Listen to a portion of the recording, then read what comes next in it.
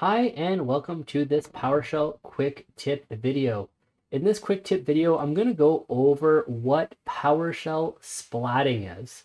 So really what PowerShell splatting is, is a way to pass parameters to commands or commandlets in PowerShell, basically making commands shorter and easier to read. Now you do do something a little bit differently with splatting. We're going to be using the at symbol instead of the dollar sign to reference a variable that we've created, uh, which might be a little bit different um, for a lot of us since we might not use splatting. But you will definitely see, I'll show a couple examples today. Some of the examples you'll wonder, it doesn't really make it shorter. It kind of makes it a little bit more convoluted. And then the last example that I'm going to show you guys was Active Directory and splatting that is where splatting and its utilities really, really show off is when you have a lot of different parameters that you have to pass. That is when you definitely see the benefits. But let's actually go ahead and let's get started here. So let me just um, remove this sidebar. We're going to need that sidebar a little bit later for an example. And let's shrink this and let's just go ahead and let's make this a little bit bigger for you guys so you guys can see what I'm typing. So let's start off with a first like really, really basic example here. Um, so we're going to do a get service. Now, of course, we know with get service, we usually pass in the name of the service. We're going to pass in here spooler and we get back our spooler service. Um, in our case, it is running. So everything there is fine. Now, if I told you that we can actually do this, which is create a variable called service, and we then need to, we need to make this equal to a hash table. In our hash table, we're going to create a name property here, and we are going to make it equal to two quotes here, and we're going to put spooler. And then what we can actually do, just shrink this a little bit, is we can do the get service at service. So this is going to reference our service hash table. It's going to splat. So actually what we could do is let me just go ahead and create this hash table here. And let's go ahead and let's just see what the at service gives us. And let's just make this console a little bit bigger. We're going to see that this we get an error message saying the splatter the splatting operator at cannot be used to reference variables in an expression. At can be used only as an argument to a command to reference variables in an expression. Use the dollar sign service. So now if we actually run that entire command here with our splat, we can actually see that we do get our service back. Now, what the key main things is to keep in mind that in your hash table, these are going to be what the parameter is. So if I misspell name here and I go ahead and I run this,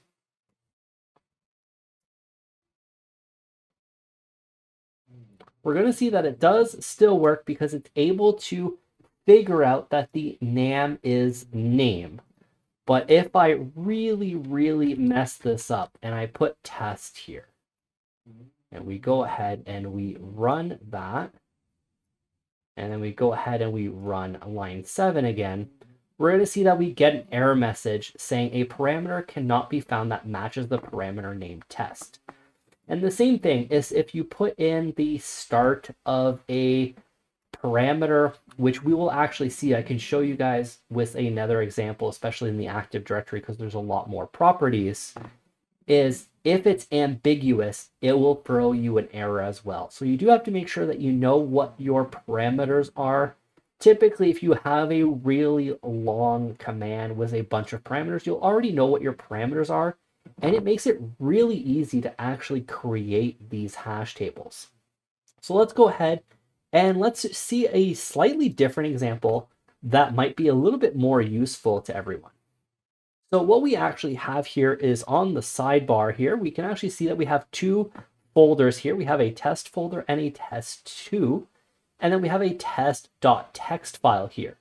Now what I want to do is I want to copy this file over to this folder here, the other folder, which is test2.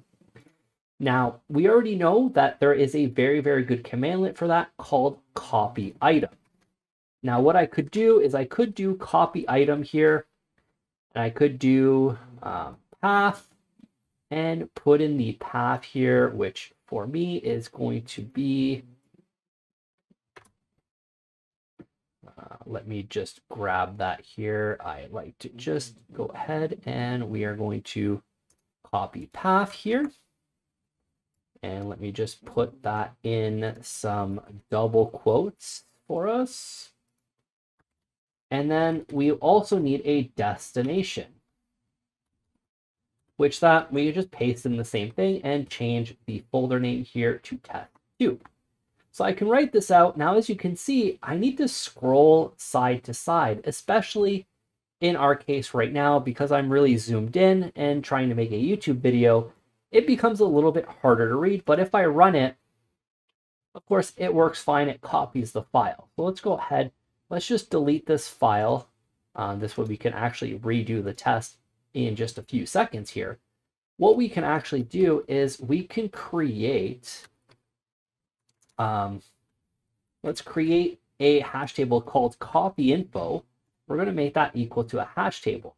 Now, all I would typically do is take my parameters that I have from copy items. I'm just going to cut those out and I'm going to paste them in the hash table. And I'm just going to hit enter here on the destination.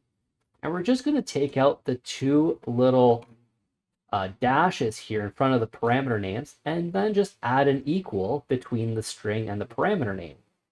And now all we need to do is at the at symbol, copy info to splat out the copy info. And we go ahead and we run this and it copies the file over exactly as if we ran it with that entire parameter chain. Now we do still have to move over because the text is, the file path is quite long, but we can very easily read path and destination. We can kind of easily see what's going on here. So now our last example, which I think, in my opinion, is probably one of the best use cases for splatting. Now, there are a lot of other really, really good use cases for splatting, especially if you're manipulating Azure, um, if you're making, um, you're using the Graph API or the Graph module, anything like that, Hyper-V, um, any type of commands that really have a large set of parameters this is where splatting becomes very, very useful. So let's go ahead and let's create a new AD user. So we have a new AD user here.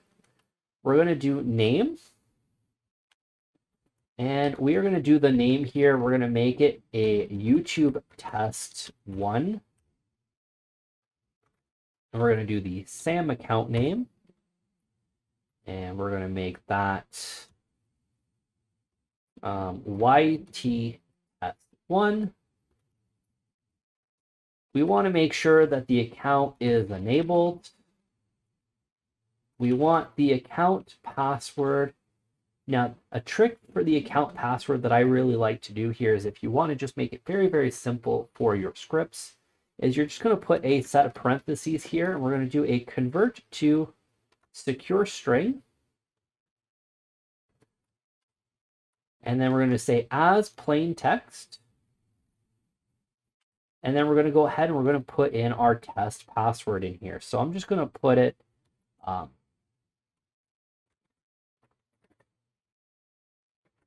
YouTube test one, two, three, four, exclamation mark.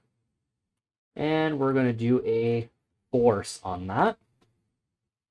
And then the last parameter that we need is just server, and we're going to make that jack.ca. So if we go ahead and we run this, of course, no errors. Everything is working great. If I go into my users in Active Directory, we can see the account is there. Now, once again, we encounter the same problem though. This becomes a very, very long thing that we have to scroll back and forth for. So what we can actually do is let's just go over to a new line here and let's create a new user and we're going to create that as a hash table. Now, as you probably already guessed it, we're just going to copy this info because we're just going to create a whole new user.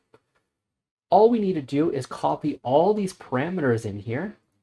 Make sure that all the parameters, each of them are in a new line. And then we're just going to remove the dashes. And then all we need to do is just add equal signs here. And then I just like to remove the spaces. You can either add a space on either side or remove the spaces. As long as whatever you pick, you kind of stay consistent. That's what I would usually recommend. Um, and then I like to just add uh, quotes around the server name in these cases, just to make it look like it is an actual string. You can easily modify it. And then if we did a new AD user here, and then we can splat new user, and let me just change that to 2 and 2. And let's create a actual problem here. So we're just going to change this from account password to password. And you're going to see the issue that we actually get. So if we actually go ahead and we run this, this is what I was talking about a little bit earlier here. We're going to have parameter cannot be processed because the parameter name password is ambiguous. Possible matches include password never expires and password not required. Now, of course, that's not any of them that we have. So that would tell me that we need to go look at the parameter set and then we'll find out that it is account password.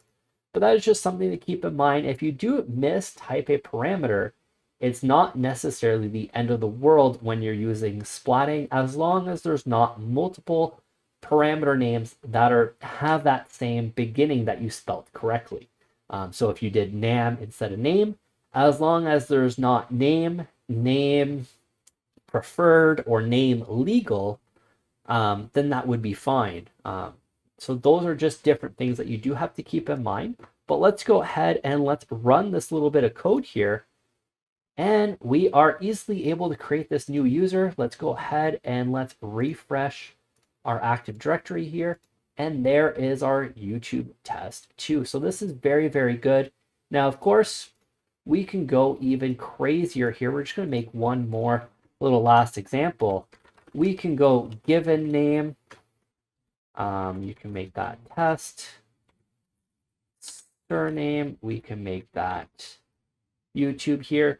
So as you can see, like the more and more parameters that you're going to get, it doesn't get any harder to read. It becomes very, very easy.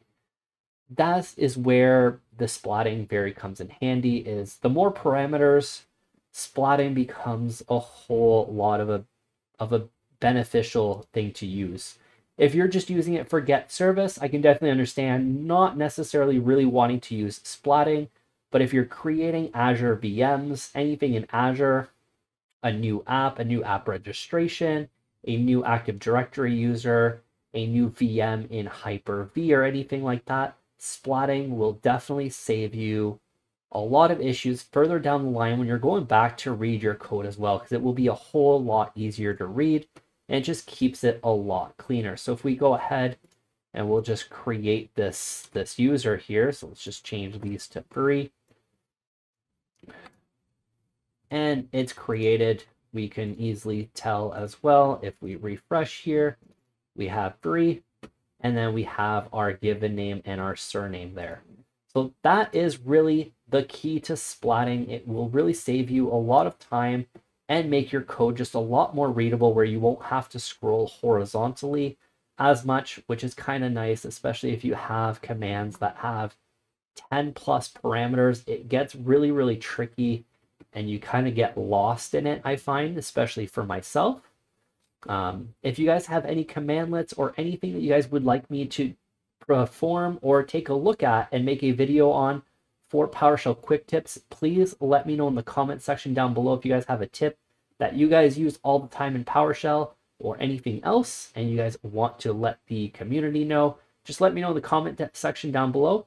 Or if it's a commandlet that you guys find really useful, if it's part of a special module, just let me know what module as well, and I could definitely make a video on it. Or if maybe there's a commandlet you don't quite understand and you want to know more about it, let me know as well, and hopefully I can clarify that up for you. And if you haven't already, please hit that subscribe button, hit that like button. And also, be sure to hit that notification bell to be notified when that next video comes out, and I will see you guys on the next video.